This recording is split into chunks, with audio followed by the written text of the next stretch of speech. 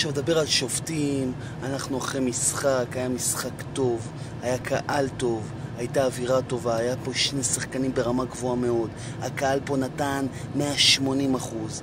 אבל שמע, ספי שמש ורייניש קבעו אותנו פה.